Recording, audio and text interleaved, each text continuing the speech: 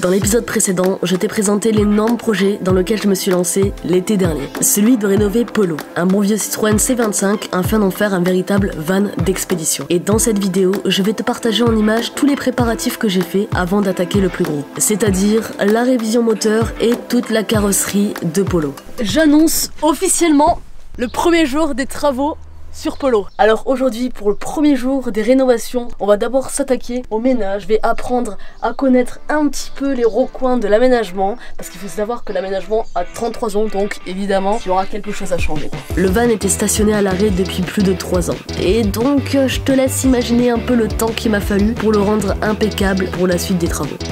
C'est vintage, mais ça marche bien. Ouais, ça dépend. Voilà, donc juste ici, il y a la bonbonne de gaz. Donc ça, c'est top. Et voilà mon futur lit. Et franchement, ça c'est l'une des choses qui m'a fait le plus craquer dans Polo. Oh ouais, elle est énorme l'araignée. Vraiment, j'ai peur de voir ce qu'il y a en dessous. Pourquoi il veut pas venir? Oh Ok, il y a bien une petite infiltration d'eau ici. Certainement par les petites... Euh, ici.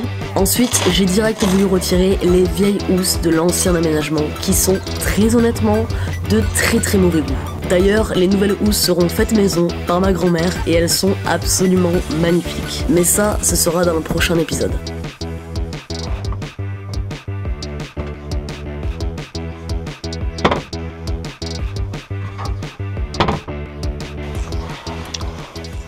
Ça c'est nickel ça. En fait, ici, il y avait le bac de douche. Et juste là, ils mettaient les petits rideaux. Et là, il y avait l'eau qui était censée s'écouler. Mais ça, vraiment...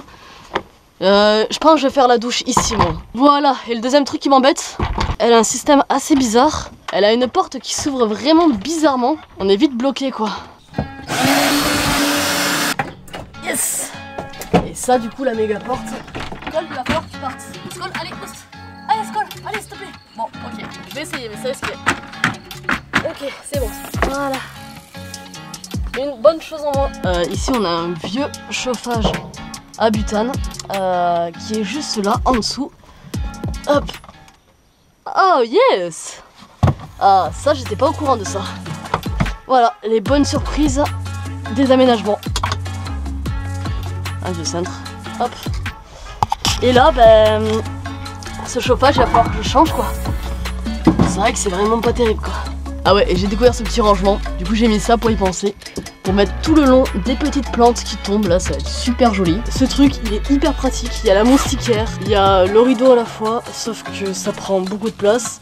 Il est complètement cassé. Et, ça, à racheter, ça coûte entre 80 et 120 euros. Donc, autant te dire que je préfère tout démonter.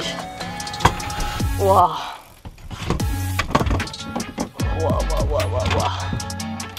Ah, c'est. Oula L'état est juste. Je crois que j'ai fait le meilleur choix, vraiment. Alors, le frigo, ça, c'est vraiment dégueulasse. Hop, on va essayer de bricoler un truc comme ça.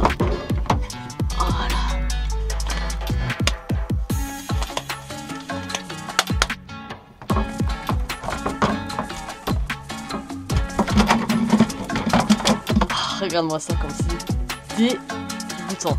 Ah, ça, ça tient même pas ça. Il était censé avoir des petits trucs là. Ah d'accord, c'est est cassé. Ok, je comprends mieux. C'est le petit euh, congélateur.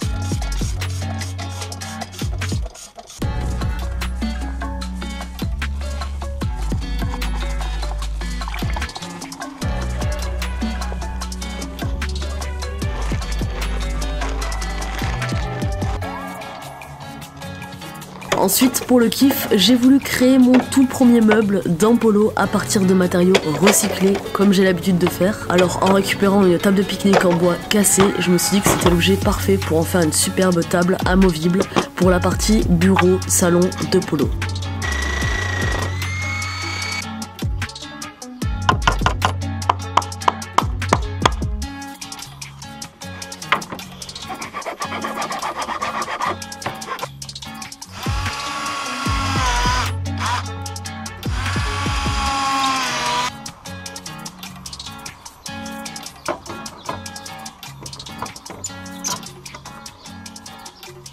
Ce matin, j'ai reçu quelque chose qui me plaît beaucoup.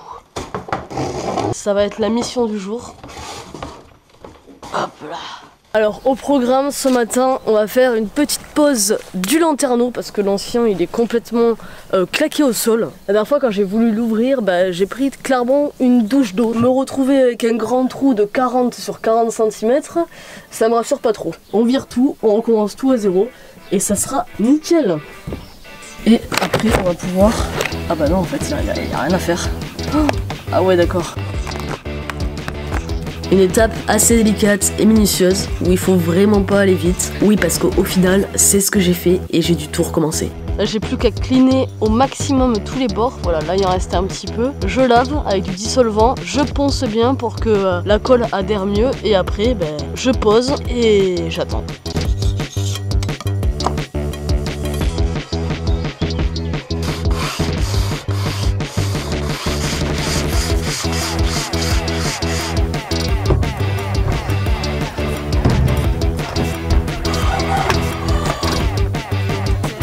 Regardez-moi ça.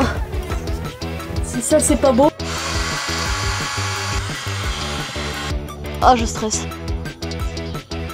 Ah, j'ai chaud, je stresse, je tremble. Voilà, là je pense que c'est bon. Ensuite, ici. Allez, c'est parti, on va essayer ça.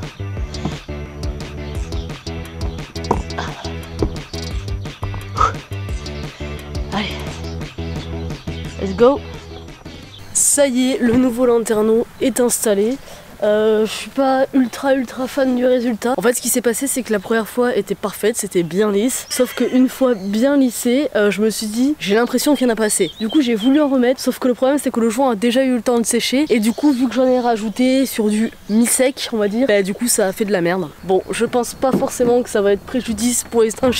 Mais bon je verrai bien sinon il faudra que je recommence. Du coup pour finir cette journée je vais aller me baigner à la rivière, se rafraîchir un petit peu. Parce qu'en ce moment il fait 40 degrés comment vous dire que ben, j'en peux plus en fait. Allez, c'est une fin journée pour moi. Ciao dans le prochain épisode, Polo reviendra méconnaissable. Je vais enfin pouvoir attaquer tout l'aménagement intérieur. Alors d'ici là, n'oublie pas de t'abonner pour ne pas manquer la suite de l'aventure. Et si tu veux voir l'avancement du projet en direct, je t'invite à me suivre sur mon Instagram où je publie tous les jours. Et sur ce, je te dis à très très bientôt pour la prochaine vidéo. Ciao